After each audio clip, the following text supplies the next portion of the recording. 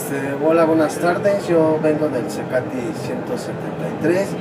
Vengo este a más que nada a, a enterarme más de cómo hacer mi empresa, cómo hacer mi cooperativa con mis compañeros y este y yo me llamo Jesús y espero que para el otro año los espero aquí.